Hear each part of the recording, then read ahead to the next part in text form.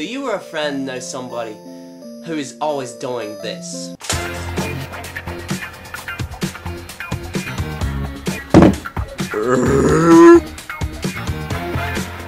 Vagina ass! Does it happen again and again and again on a daily basis?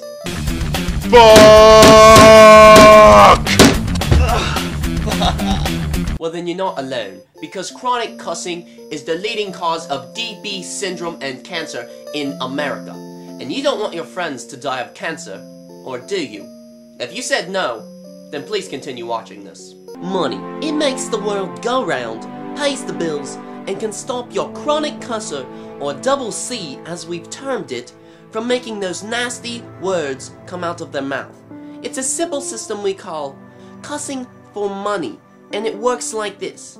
When a friend has an attack like this, Hey! Who ate all the damn oatmeal? Simply place the coins inside their mouth. It's that simple. With all the filth on those coins, they'll be cured of cussing in no time.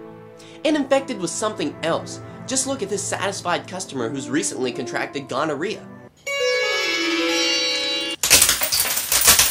Oh, oh god. Buddy tastes like shit! Oops, I guess you're not completely cured, now are you? Open up. Oh. ah. And just think, that one was probably up a hooker's ass. Putting dirty money in your mouth. If that's not enough to stop you from cussing, then we don't know how else to help you.